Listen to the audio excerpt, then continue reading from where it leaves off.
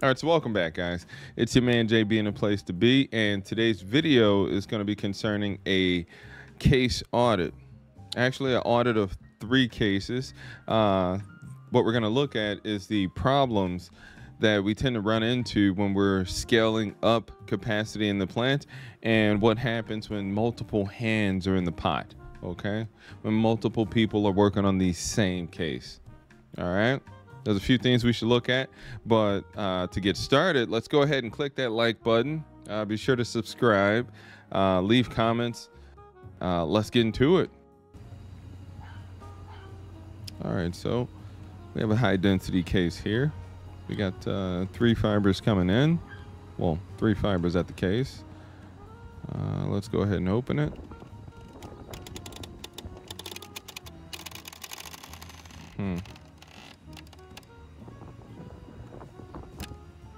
Straps.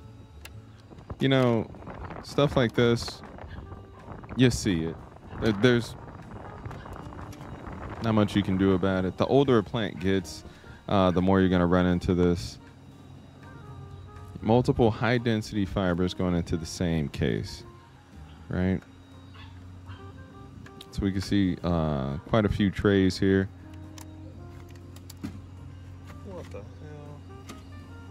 Okay, there's a what was that a 48 count? There's a 28 count coming in, small count with a bunch of large counts. All right. See this all the time. People taking shortcuts, and you know, for the most part, it's a good shortcut. Once these ports are open, if you don't block them, bees and ants will find their way inside. So why not just leave it plugged? Maybe someone could come up with a better solution. Uh, we can see that the screws, the bracket screws aren't even fully engaged. These just popped right out. Like, what are you going to do, right? What are you going to do? You can screw them back in, but will they pop back out?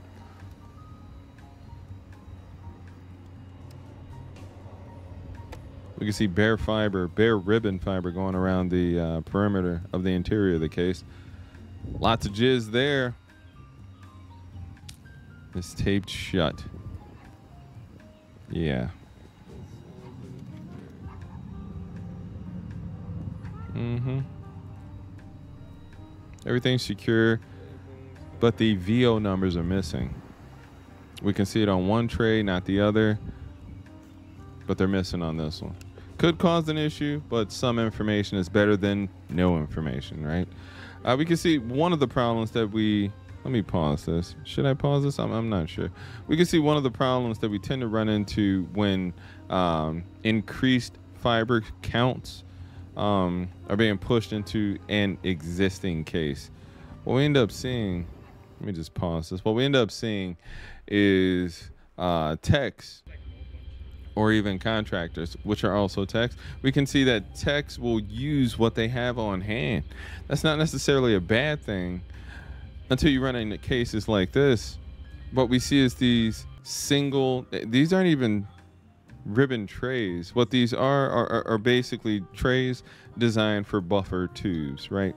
The buffer tube would just fall into these small grooves and you know, click into place and then you would zip tie them accordingly. But in this particular case, we saw uh, a bit of fabrication, right? A bit of adaptation.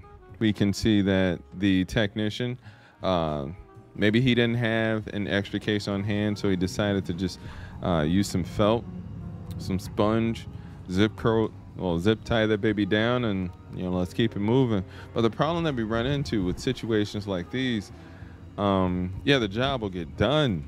But when you go to put that tray back on, these are ribbons, right? So they're pretty stiff. So when you force that, so when you force that cover back on that tray, you're compressing the fiber, and we all know what that leads to, right? That leads to macro bends, right? Um, random fibers having excessive drop off in decibel strength in light levels, right? So you know, we should be conscious of that, okay? Yeah, and if we look back at what we just saw, we can see that they're pretty crammed up in there, man. Pretty crammed in there. This is one of the problems we have when expanding uh, fiber counts inside of a pre-existing case. The smarter bet would have been to um, just replace the case altogether. That leads us to another issue, right? what if there's commercial customers on um, running through here? What if there's dark fiber going through here? You just don't want to take down circuits like that. So, you know, just be conscious of it. Maybe plan for, you know, upscaling the plant and, you know, that particular area in the future. But, you know, just don't get all crazy with it. Do what you can. Try not to take anyone down. All right, so here we're at case number two, right?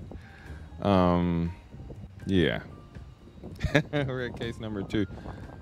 Once again, go ahead and hit that like button, subscribe, leave comments. We can see again uh, small counts as well as large counts. If I had to guess, if I had to remember, I would say that that's a one.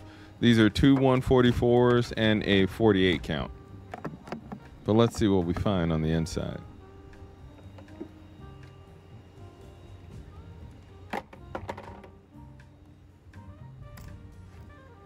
It's old case. Yeah.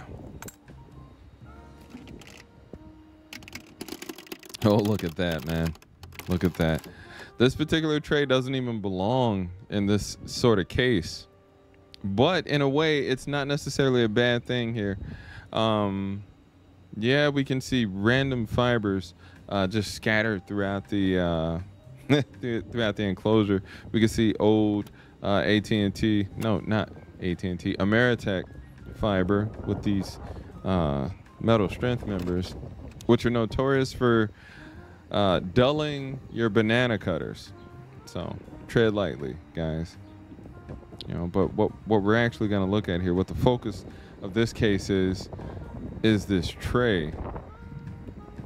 This tray. This is your typical double density ribbon tray, and it's double density for a reason. In the regular thin trays, yeah, you could put uh, ribbons in there, but um, you, you're not going to have as much capacity because they tend to bow upward, as you can see here. It's a complete show. But it works. This is what 99.9995 uh, uptime looks like. Especially when y'all don't want to pay for none. But here we go. Everything's held together by electric tape. We can see multiple ribbon splices in here. We can also see a few single splices. You know, all in all, this ain't all that bad. I- I've seen far worse. Far worse. This ain't all that bad. We can see a little bit of carelessness, though. Um, you know, which is to be expected. Double density ribbons. It's to be expected. No big deal. No big deal. Not much slack in the case. Maybe some emergency work needed to be done. I didn't do this. As far as I can tell, I, I didn't do it, man. Let's look at closer. Let's have a closer look. We can see um, you know, let me pause this right here. so, I wasn't always the perfect splicer that I am now. The awesome technician that I've become uh, was was a journey of many failures, right? But if we look here, right, we can see one heat shrink, two fibers going into it. We can see the red and black fiber going into it. And the guy who trained me, this is his handiwork. This is actually his signature, right? Couldn't figure out how he did it. Me and my buddy Dave keep trying to replicate this guy's uh, craft, but you know we're unsuccessful. I guess it is what it is, but that's how I know he's been in this case. Moving on.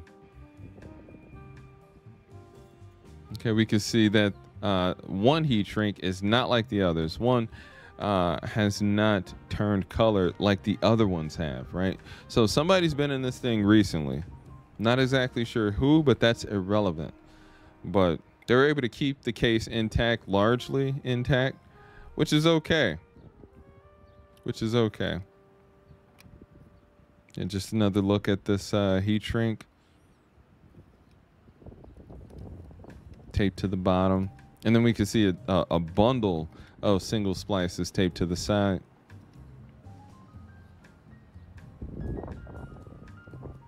It's not all that bad, you know? It's not all that bad. Until you try to take everything out. Yeah. then it uh, goes from okay to, you know, You do excellent work. clusterfuck. Because then you start seeing fibers interweaving between other fibers. Just massive headache. Massive headache. But all in all, this one was still good. Well, it, it was satisfactory. Now, this is the most recent one, right? Same kind of case, same kind of enclosure. But let's have a look inside. If I can get it open.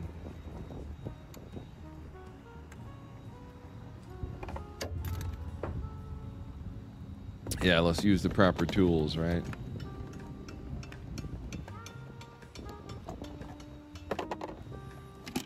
Oh, look at that. Look at that. Right here. Oh, that's me. It's playing in the lens. But right here. Right here. This is how this case should look, right? We got two large counts coming in. I think both of these are 144s. And um, that's it. It's just a trunk case. That's it. That's all. One tray. Uh, a few splices on the inside. Very clean. Very nice. Yeah, man. So that, that's about it, guys. Don't feel self-conscious about how craptacular you're gonna leave that case. In some cases, you have to work with what you have. No big deal, man. All right. So if you guys enjoyed the content, go ahead and uh, hit that like button, subscribe. Be sure to leave a comment.